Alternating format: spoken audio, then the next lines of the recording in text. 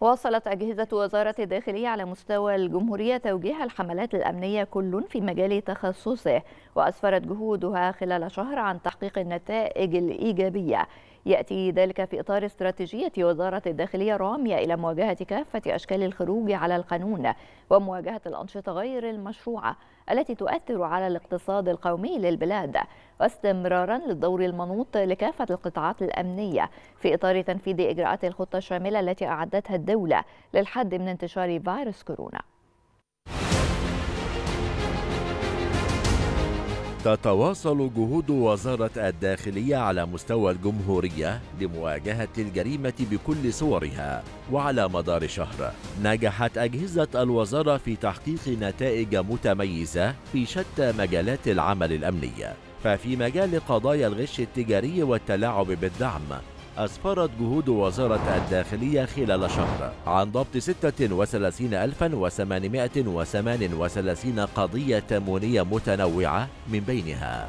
491 قضية بيع اسطوانات غاز في السوق السوداء بمضبوطات بلغت أكثر من 12 ألف اسطوانة. وضبط 77 قضية مواد بترولية بمضبوطات بلغت أكثر من 361 ألف لتر مواد بترولية. تم تجميعها لبيعها في السوق السوداء إضافة إلى ضبط 171 قضية بيع سلع تموينية مدعمة في السوق السوداء. بمضبوطات بلغت قرابة 15 طن ونصف سلع غذائية متنوعة وضبط 37 قضية استيلاء على أموال الدعم.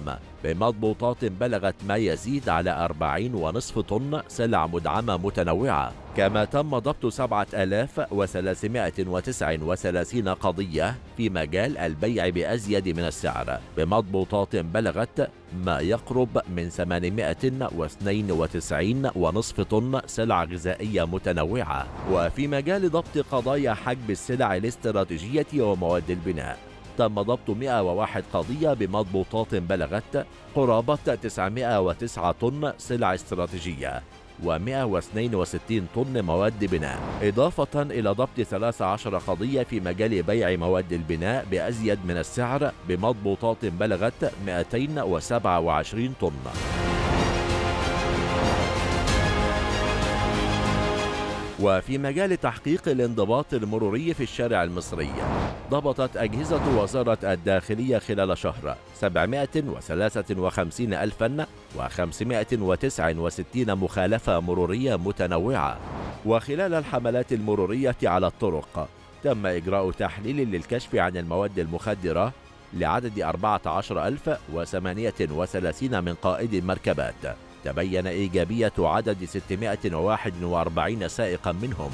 كما تم المرور على 1029 مدرسة وإجراء تحليل للكشف عن المواد المخدرة لعدد 1744 من سائقي حافلات المدارس. وتبين إيجابية عشر حالات. كما تم فحص 1536 مركبة وتبين مخالفة عدد 47 مركبة لاشتراطات الصلاحية الفنية. كما تم رفع 1761 سيارة و239 دراجة نارية متروكة ومتهالكة. وفي مجال ضبط مخالفات قائد الدراجات النارية تم ضبط 56734 مخالفة عدم ارتداء غطاء الرأس الخوذة وفي مجال قضايا التيار الكهربائي. ضبطت وزارة الداخلية خلال شهر 344243 قضية في مجال سرقة التيار الكهربائي ومخالفة شروط التعاقد. بقيمة مالية محصلة في هذه القضايا بلغت أكثر من 281 مليون جنيه وفي مجال قضايا المصنفات وحماية حقوق الملكية الفكرية ضبطت وزارة الداخلية خلال شهر 1157 قضية من بينها. 697 قضية في مجال مكافحة جرائم المصنفات وضبط 436 قضية في مجال جرائم المطبوعات. بمضبوطات بلغت أكثر من 6000 نسخة من كتب أدبية وملازم تعليمية دون الحصول على تفويض من أصحاب الحقوق المادية والأدبية. وفي مجال قضايا الأموال العامة ضبطت وزارة الداخلية خلال شهر 283 قضية بقيمة مالية بلغت قرابة 550 مليون ونصف جنيه. وفي مجال قضايا التهرب الضريبي تمكنت أجهزة الوزارة من ضبط 6249 قضية بقيمة مالية بلغت أكثر من 10 مليار و742 مليون جنيه. قيمة تعاملات مالية مخفاة لم يقم الممولون بإخطار مصلحة الضرائب بها وجاري فحصها فنيا بمعرفة المصلحة لاستيداء الضرائب المستحقة عليها.